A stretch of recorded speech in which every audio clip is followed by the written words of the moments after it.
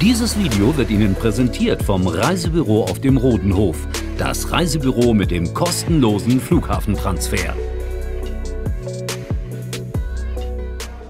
Vor der Begegnung in Bayreuth sprachen wir mit Tobias Jänicke und Marvin Chuni, Kuni oder auch Suni.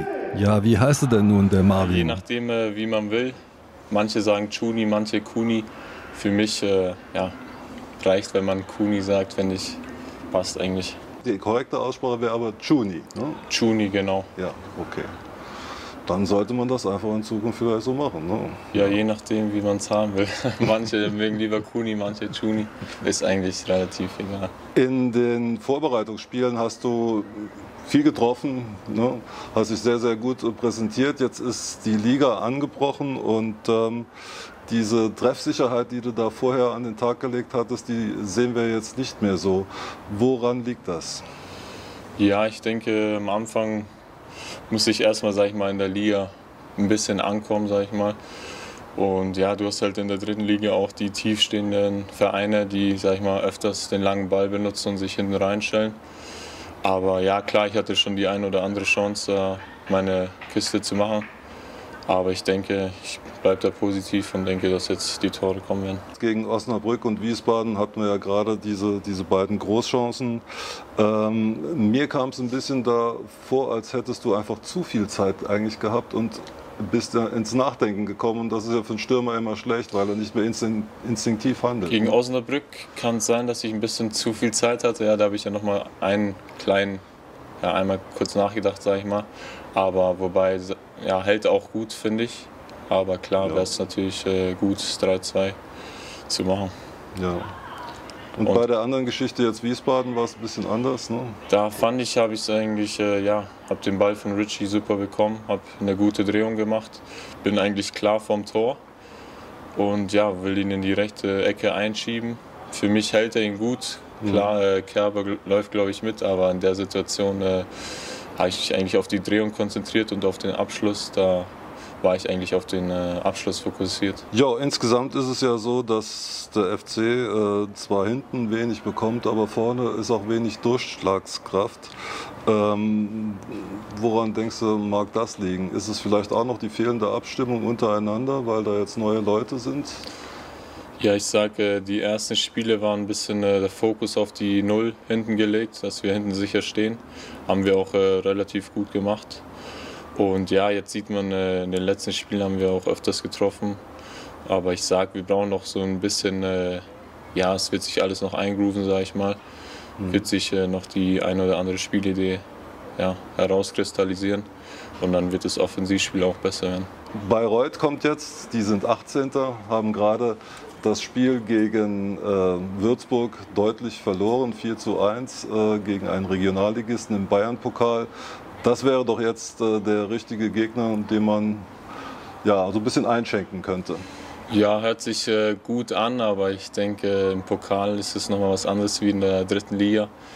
In der dritten Liga, denke ich, kann jeder jeden schlagen und Bayreuth hat, denke ich, auch das Zeug dazu, auch wenn sie jetzt äh, weiter unten stehen, aber ja, auf die leichte Schulter nehmen darf man in der dritten Liga nicht. Ich fange mit einer provokativen Frage an.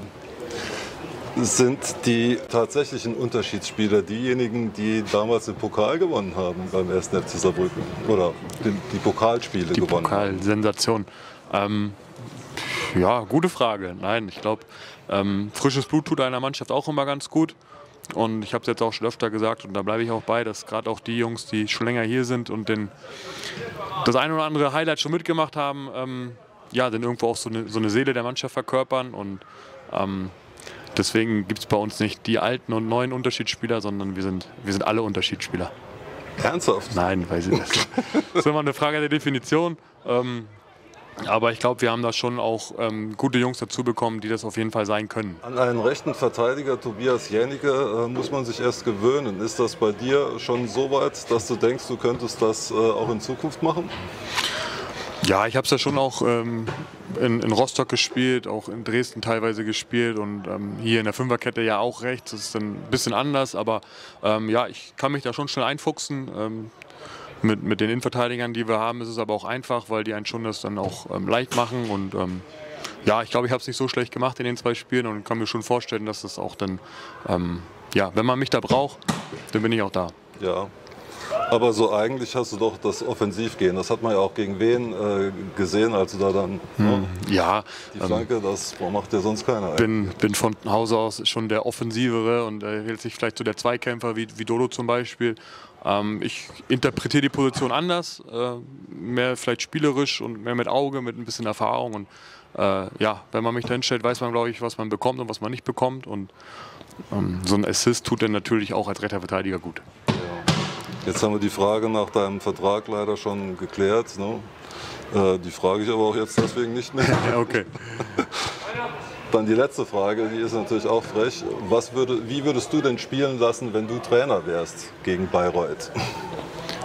Ja, gute Frage. Ich glaube, ähm, ist ein Aufsteiger, der auch noch so ein bisschen vielleicht äh, ja, sucht, wo, wo sein, sein Platz in der Liga ist. Und ähm, generell denke ich, ist es immer nicht so schlecht, die Gegner früh unter Druck zu setzen, ähm, von Anfang an zu zeigen, dass für die Jungs nichts zu holen ist, ähm, sie ein bisschen zu beeindrucken, auch körperlich äh, und, und, verbal. Und dann, glaube ich, hat man gute Chancen, gerade vielleicht auch mal früh in Führung zu gehen.